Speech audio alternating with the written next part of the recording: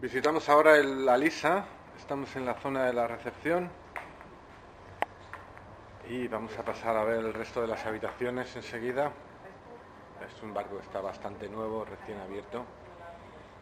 Y bueno, veis que las modas también mandan y ahora se estila otro tipo de decoración, mucho más sobria, muy elegante, pero a la vez muy funcional, algo minimalista. Ya no se llevan esas lámparas chillonas decoración que al final acaba agotando la vista.